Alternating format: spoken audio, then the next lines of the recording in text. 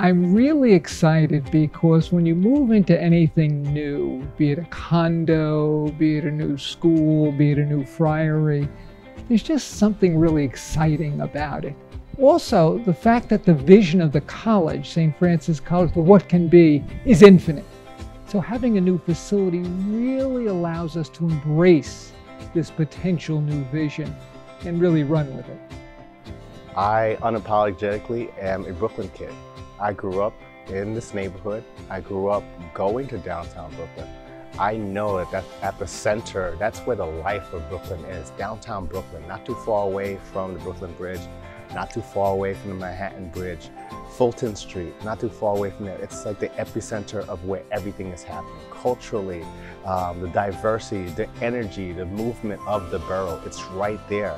And so to imagine that you have this world-class institution in the heart of where everything is happening, where else would you want to be? Something that's brand new, something that no one has really seen before and just to, for students to walk in and be like, wow, this is my school. This is something I'm proud of. It makes me feel like a new person.